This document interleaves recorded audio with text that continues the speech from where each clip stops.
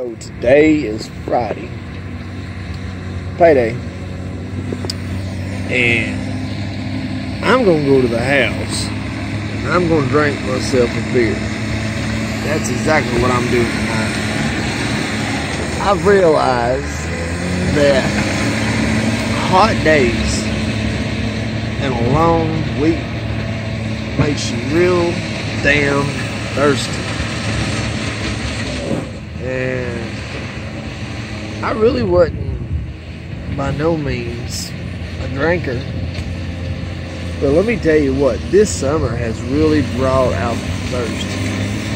And you know, when it's like a hundred freaking degrees outside, ice cold Bud Ice hits the spot. That's all I know. And you know what else sounds good? Some damn pretzels with some uh, the buffalo pretzels. That sounds perfect. So I'm gonna go home. And that's what the hell I'm gonna do. I'm gonna sit down in front of my damn TV with my wife, my children. We're gonna watch some TV. I'm gonna drink me a beer, and I'm gonna thank the Lord for all the small miracles that has happened this week. And then I'm gonna sit there and I'm gonna pass out.